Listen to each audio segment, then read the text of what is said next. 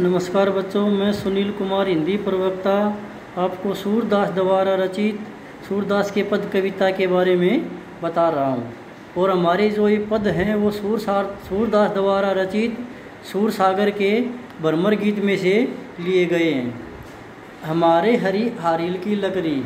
गोपियाँ उद्धव से कहती हैं कि हमारे श्री कृष्ण तो हरि है भगवान श्री कृष्ण। हमारे श्री कृष्ण तो हारिल पक्षी की लकड़ी के समान हैं।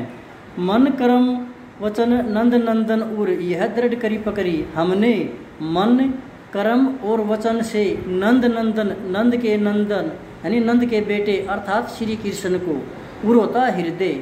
हमने मन कर्म और वचन से श्री कृष्ण को अपने हृदय में दृढ़ करी पकड़ी होता है मजबूती से धारण कर लिया है। अर्थात, जिस प्रकार हारिल पक्षी अपने पंजे में लकड़ी को लेकर उड़ता है, उसी प्रकार हमने श्री कृष्ण को अपने हृदय में मजबूती से धारण कर लिया है। सोवत, जागत सोवत सौपन दिवस निशी कन्न कन्न जकरी। देखिए, यहाँ कन्न कन्न में पुनरुक्ति प्रकाश अलंकार है। वो जागत सोवत में तयवर्ण की आवृत्ति है, अनुप्रास अलंकार है। हम जागते सोते और सौपन का अर्थ होता है सपने में। यानी हम जागते सोते और सपने में। दिव, दिवस निशी दिवस होता है दिन और निशी का अर्थ होता है रात दिन और रात। कान्ना कान्ना होता है श्री कृष्ण का नाम जगना का मतलब होता है रटना। यानी हम जागते सोते और सपने में।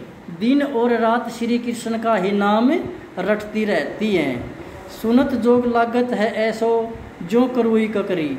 यानी योग के संदेश को सुनकर इस प्रकार लगता है जैसे कड़वी ककड़ी खाली हो सू तो व्याधि हमको ले आए, देखी सुनी न करी। व्याधि देखो ये मानसिक बीमारी है। दो प्रकार की बीमारी होती है तो शारीरिक और एक मानसिक। है तो सू तो व्याधि, तुम हमारे लिए एक ऐसी बीमारी को लेकर आए हो, जिसे न तो देखा है, न सुनी सुना है, और करी का अर्थ होता है भोगना, और न उसे हमें भोगा है।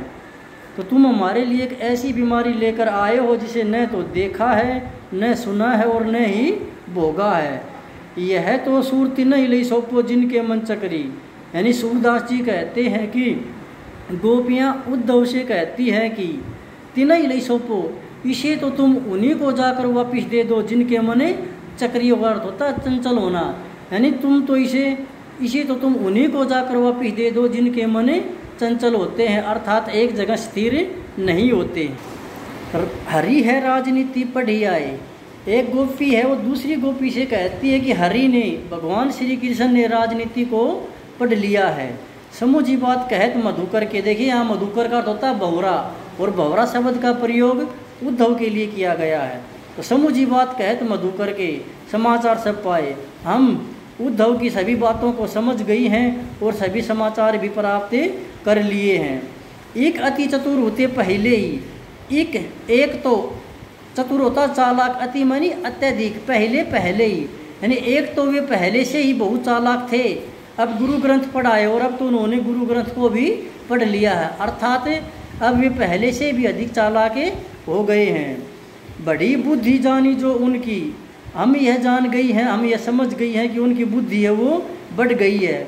योग संदेश पठाए इसीलिए उन्होंने हमारे लिए योग का संदेश भेजा है। उधो हे उद्धव, भले लोग आगे के, पहले जो अच्छे लोग हैं, वो क्या करते थे? पर हित होता है दूसरों की भलाई के लिए, दौलत होता है घूमना। तो हे उद्धव, पहले भले लोग दूसरों की भलाई करने के, करते, करने के लिए घूमते रहते थे, परंतु अब ऐसे लोग नहीं हैं। अब अपने मन फेर पाइए, चलत जूते चुराए।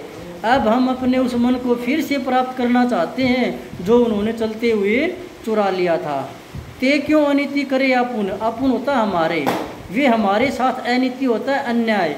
वे हमारे साथ अन्याय कैसे कर सकते हैं, जो दूसरों के अन्याय को दूर करते हैं? राज धर्म तो यह सूर जो प्रजा ने जा ही सताए। सूर, सूरदास जी कहते हैं कि, गोपियाँ उद्धव से कहती हैं कि राज धर्म तो वह होता है जहाँ प्रजा को सताया नहीं जाता। जब देखिए यहाँ गोपियों ने राजधर्म का संदेश दिया है।